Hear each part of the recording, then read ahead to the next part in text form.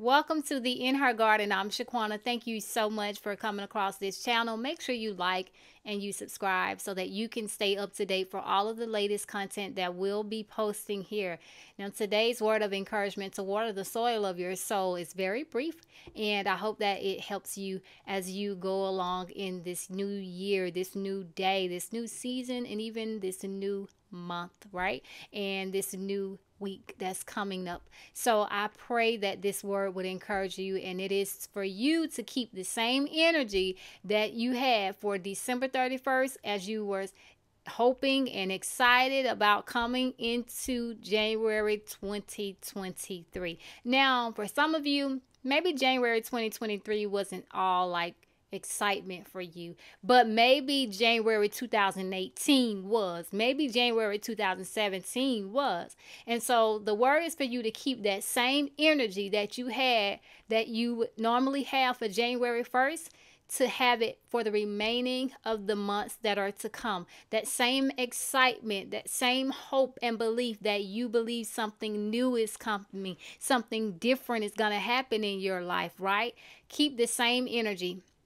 And this is, reminds me of the word that says, do not despise the day of small beginnings. Or when you start a work or when you're going at something, right?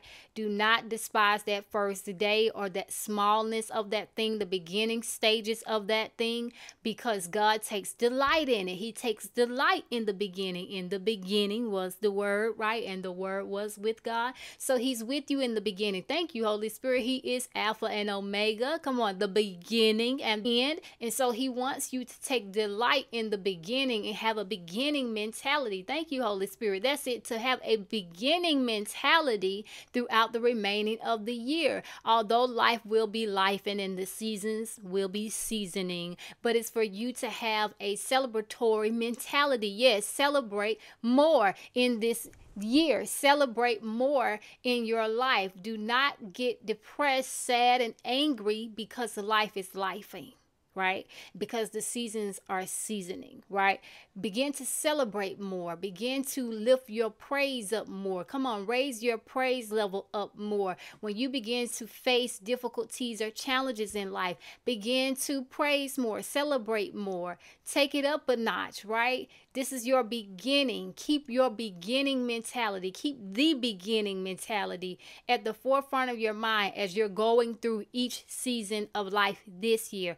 That is what I'm doing. That's what I did in the last quarter of the year and in the third quarter of the year when life wanted to life and the enemy wanted to attack and all of that. So listen, it's because you're moving forward. And so you got to know that when that begins to happen, you got to aggravate the aggravator by your praise. You got to frustrate the frustrator by your praise. You got to irritate the irritator by your praise.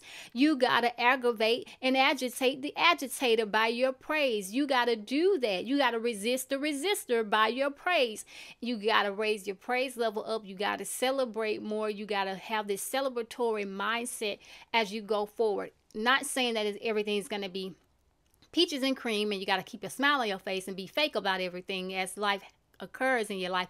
No, but it's you choosing to have a celebratory mindset, the beginning mindset. Like, this is fresh, this is new, this is different, this is uh, exciting, right? You want to have that mentality like, what can happen next? If you read Romans, I believe it is chapter 8 you want to read that in the message version because it says like what's next daddy like what's next for us like what is the next step you're going on an incitement journey i'm going on a journey and i'm going to keep my praise up and my faith up and my celebratory mindset that he has given me to look at this this life and this new season like what we're stepping into next, what you want to do next, where our faith taking us next. So I feel the presence of God so strong. And so that's what you want to do. You want to make sure that you keep your praise up, keep your celebratory mindset, and keep the beginning mindset.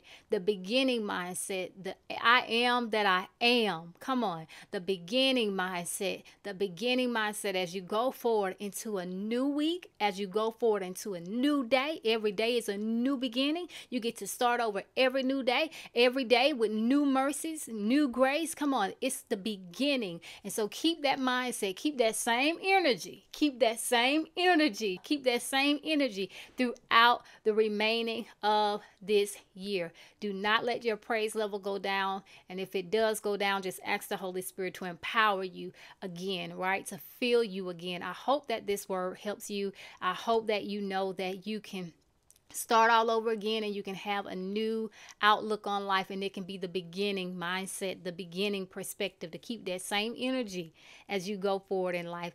Hope that you do the work and that you begin to implement this mindset into your life because you are worth the soul work